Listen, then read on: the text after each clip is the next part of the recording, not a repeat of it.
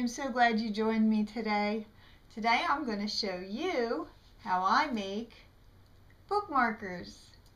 They're fun and they're easy and they make perfect gifts. I am going to show you how to do the thicker bookmarker only because it's going to be easier for you to see on the video camera. I'm going to need tape.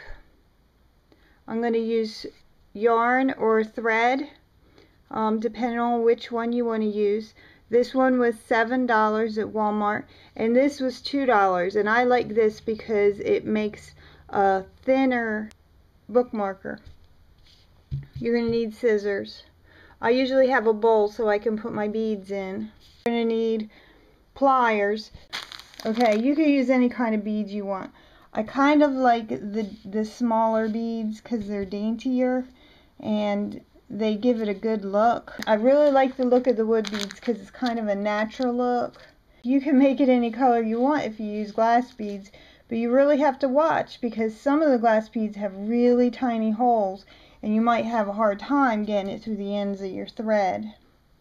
I also use a basket and I put a little crochet hook on the edge of my basket. I guess you could use any anything, but this is the easy way that I do it. I just take the loop and I put it over top of it and it holds it steady so that when I'm weaving it won't be moving all over the place.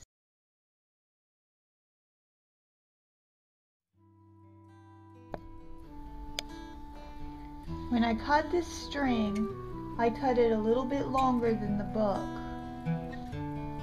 And I doubled it up. See how I folded it in half? And I doubled it up. Now the outside string, which is going to be longer, is going to be twice this side. See, I, I fold this in half. I doubled this up as well. See, there's the short piece and the long piece is twice the size.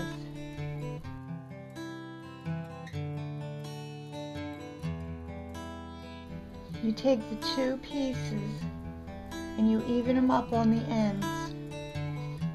You have your top two loops and give yourself a little bit of room so that you can put your beads on and have your frilly end.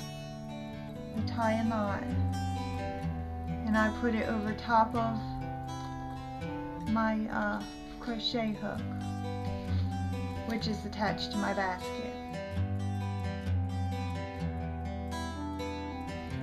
Now you take the two long pieces go on the outside. The two short pieces go on the inside. And this is how you start. You make a loop and I put it underneath the two short pieces. See that?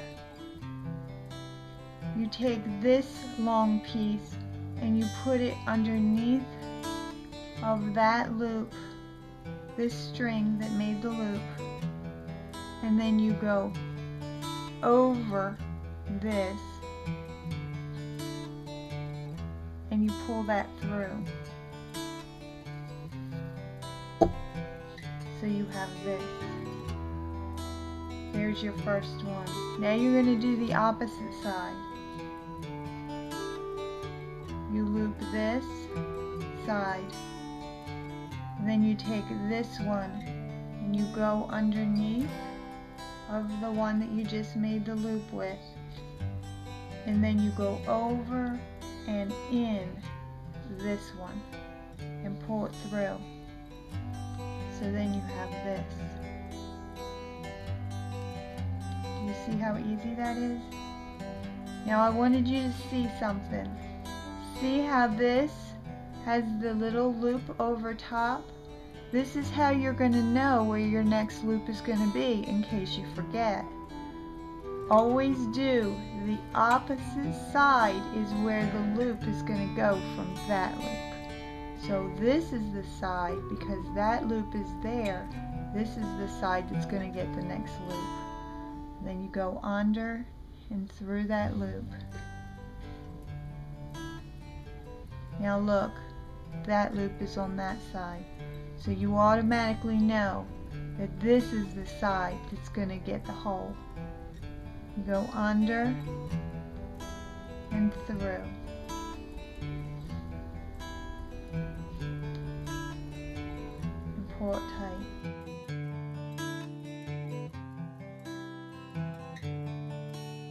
Then I'm going to tie it off.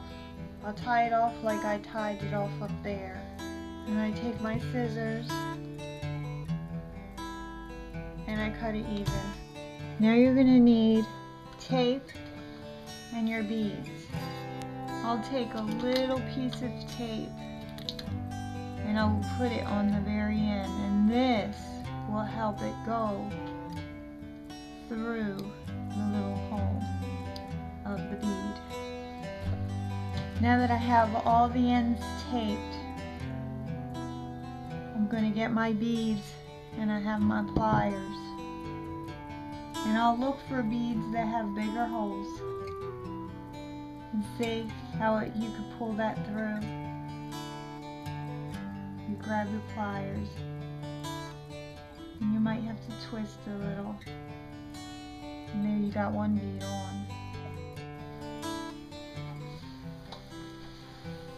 You're done putting all the beads on, like I have here, I have all my beads on and I tied knots in all, all the ends of where the beads are.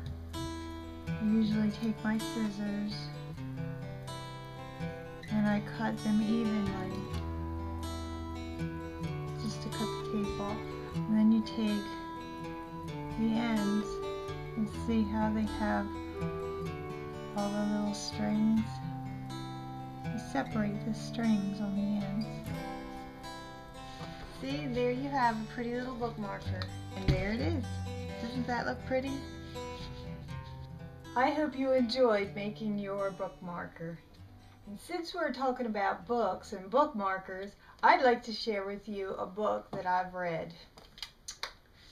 The Power of Now by Eckhart Tolle. Now I think that it is a wonderful book that goes along with Choosing Easy World. You put them together and they enhance each other so much. You have a great day full of ease and joy and I'll see you next time. Bye. I love the smell of books. It's great aromatherapy. Look, a halo. Such an angel. I never thought of it that way.